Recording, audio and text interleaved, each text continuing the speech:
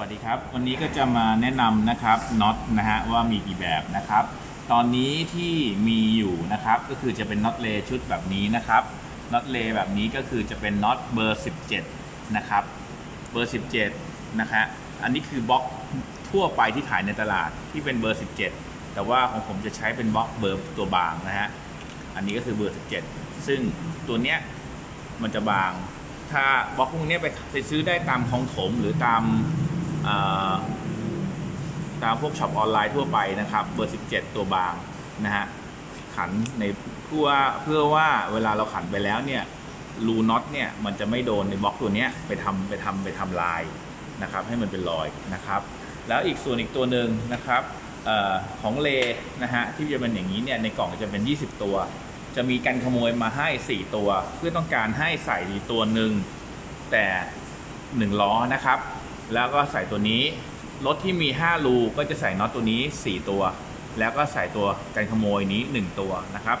กันขโมยก็จะมีเบอร์มาให้นะฮะตามบล็อก สมมุติกันขโมยตัวนี้ในกล่องนี้ก็จะเป็นเบอร์ 14S นะครับ ตัวนี้ 15 16 17 18 19 20 แล้วแต่ในกล่องจะให้นะฮะวิธีการขันก็คือเราก็ต้องไล่ไปเรื่อยๆนะฮะว่าบล็อกตัวเนี้ยมันจะเข้าบล็อกช่วงเข้าล็อกช่วงไหนนะครับนี่นะฮะเข้าอย่างนี้ แต่ถ้าขันไม่ตรงองศามันนะครับ มันก็จะไม่เข้านะฮะแล้วเราก็ใช้บล็อกเบอร์ 17 ขันออกได้เลยนะครับเพราะบล็อกพวกนี้จะเป็นเบอร์ 17 ต่อ 17 นะครับ แล้วก็อีกตัวหนึ่งที่ตอนนี้ทำโปรโมชั่นอยู่นะครับ ก็คือ น็อต Project Mu นะฮะก็คือน็อตกล่องนี้นะครับ ซึ่งมีบล็อกเบอร์ 17 มาให้นะครับนะครับก็เราก็สามารถใช้บล็อกเบอร์ 17 ทั่วไปขันได้เลยเนี่ยนะฮะสามารถขันได้เลย นะครับสิ่งที่แตกต่างคือความยาวของน็อตนะฮะก็เราจะสามารถเราจะวัดได้เลยนะครับว่าน็อตตัวเนี้ย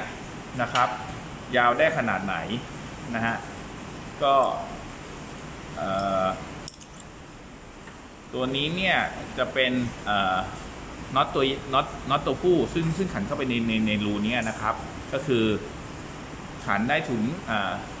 สามสิบห้ามิลนะครับ สามสิบห้ามิลน็อตตัวผู้นะครับ ส่วนน็อตตัวนี้น็อตตัวผู้ก็สามารถขันได้ถึง 45 มิลนะครับซึ่งเป็นน็อตของ Project Mu นะฮะถามว่าแตกต่างกันไหมไม่แตกต่างนะครับ แต่ว่า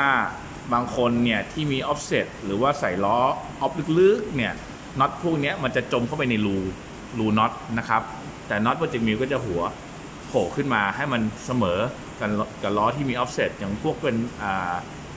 พวกเป็น 6 รูนะฮะ ก็คือ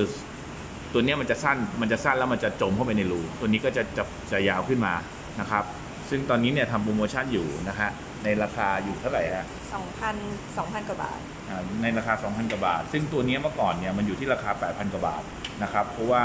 น็อตยาวส่วนใหญ่จะไม่มีใครทำเพราะว่ามันต้องใช้เหล็กเยอะ แล้วก็ส่วนใหญ่จะทำแค่น็อตตัวสั้นและเป็นหัวเปิด ซึ่งน็อตเนี่ยตัวผู้ก็จะจะเยอะจะจะจะทะลุออกมาข้างนอก แต่ตอนนี้เนี่ยมันมีน็อต Project Mu ที่น็อตเป็นตัวยาว ซึ่ง เวลาเราใช้ไปเรื่อยๆน็อตน็อตที่อยู่ด้านนอกเนี่ยที่เป็นหัวเปิดเนี่ยเศษเศษฝุ่น เศษดิน เศษทรายเศษน้ำจะทำให้สนิมขึ้น แล้วเวลาเราขันออกเนี่ยเราจะทำให้น็อตเนี่ยมันขาดนะครับ เพราะฉะนั้นก็เลยทำเป็นน็อตหัวปิดมา เพื่อเพื่อเพื่อต้องการน็อตตัวผู้เนี่ยไม่ให้เจอฝุ่นเจอสนิมหรือว่าเจอน้ำนะครับ เวลาถอดถอดออกจะง่าย ๆครับ ก็มีประมาณนี้นะฮะแล้วก็ส่วนน็อต Project Mu ก็จะมี 2 สีเท่านั้นนะครับสองเน้นนะฮะคือ 2 สี สีดำกับสีโครม ถ้าเป็นสีแดงสีน้ำเงินสีอะไรคือน็อตปลอมที่น็อตเอ่อที่น็อต Rays ไม่ได้ทำนะครับ เน้นนะฮะว่าคือของปลอม ของแท้จะมี 2 สีเท่านั้น สีดำกับสีโครเมียมครับส่วนขอบโปรคุเจณกต์ครับบิลมีสีเดียวเนาะ Project Mu มีสีดำสีเดียวครับ แต่ว่าจะมี 2 แบบคือเกลียว 1.5 นะครับ 1.5 ก็คือรถโตโยต้าทั่วไปนะครับ 1.25 ก็คือซูซูกิซูบารุ86นิสสันนะครับ นอกนั้นใช้ 1.5 หมดนะฮะ อย่าลืมนะครับ 1.5 กับ 1.25 เพราะมันใช้กันไม่ได้นะครับ สนใจสอบถามเพิ่มเติมนะคะแอดไลน์ ADSI แล้วก็ NSPORTS หรือไปที่แฟนเพจ N Sport นะคะ ขอบคุณค่ะ สวัสดีค่ะ